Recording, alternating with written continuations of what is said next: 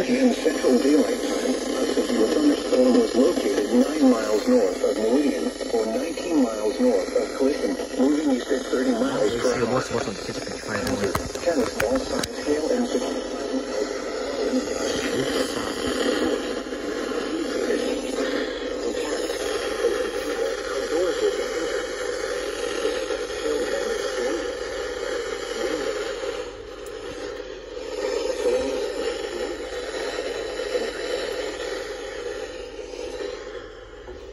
Shit.